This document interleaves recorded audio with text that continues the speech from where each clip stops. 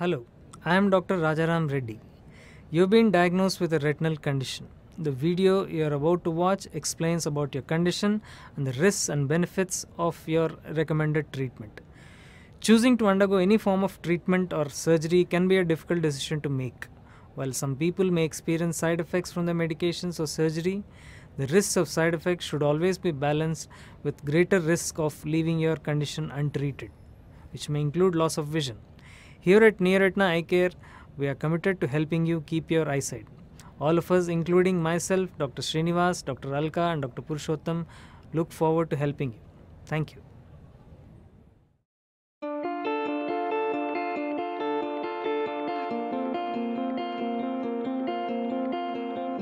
Your ophthalmologist has diagnosed your eye condition as central retinal vein occlusion, or CRVO. This is where your major vein in your retina is blocked. He or she recommends treating your CRVO with medication injections and laser surgery that may help to slow the disease. To understand how CRVO affects your vision, it's important to understand how the eye works.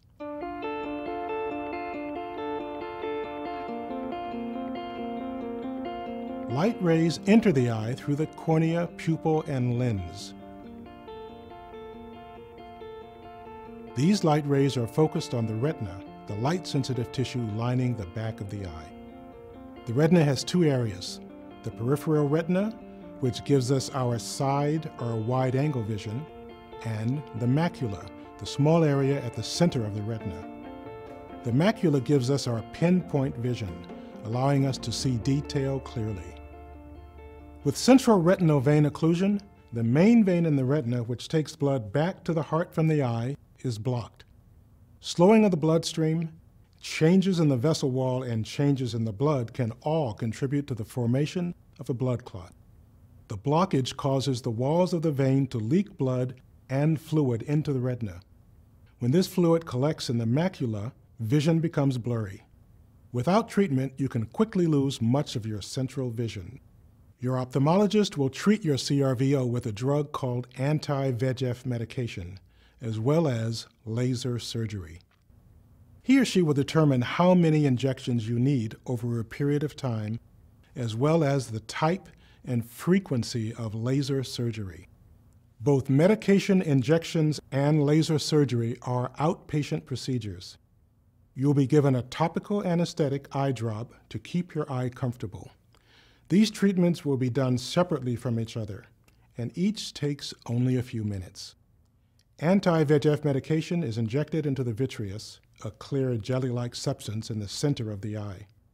This medication can reduce swelling of the macula, which helps to slow vision loss or perhaps even improve vision. It is important to remember that this drug cannot cure CRVO. Although some people may regain some of their vision, for others, the medication might not restore vision that has already been lost. And there is the possibility that for some people, the medicine may not stop further vision loss from CRVO. With severe cases of CRVO, new blood vessels can grow in the retina and can cause an increase in eye pressure. Laser surgery is performed in conjunction with a medical injection to slow this process. This laser surgery for CRVO is called PRP, or pan-retinal laser photocoagulation.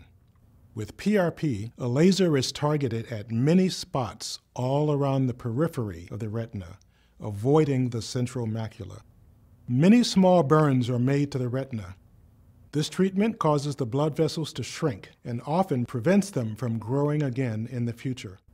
It also decreases the chances of the blood vessels bleeding. As with any medication or procedure, there are risks of side effects and complications with anti VEGF treatment. These may include eye pain, a bloodshot eye, small specks in your vision called floaters, inflammation or swelling of the eye, retinal detachment, which is when the retina pulls away from the back of the eye, clouding of the lens of the eye or cataract, increased pressure in the eye, called glaucoma, damage to the retina, cornea, or lens, bleeding, eye infection, vision loss, and the need for more treatment, including medication and surgery. Though it is very rare, it is possible for some people using anti VEGF medications to have a stroke, hemorrhage, or heart attack. Tell your ophthalmologist if you have had a heart attack or stroke in the last few months. Risks and complications associated with PRP laser surgery include temporary pain, decreased night vision, blind spots in your peripheral vision, loss of central vision, retinal bleeding, retinal scar tissue, and continued abnormal blood vessel growth or bleeding requiring additional treatment. Any or all of these complications may decrease your vision or possibly even cause blindness. Additional procedures may be needed to treat these complications. Other forms of treatment may be available for your case of CRVO. These options could include steroid medication injections or other types of surgery. Your ophthalmologist can explain why he or she chose a particular course of treatment for your condition. You do not have to be treated for CRVO. However, without treatment, CRVO can lead to further vision loss, sometimes very quickly. Be sure to keep all appointments with your ophthalmologist after treatments. Monitoring your vision is a vital step toward the goal of preserving your sight.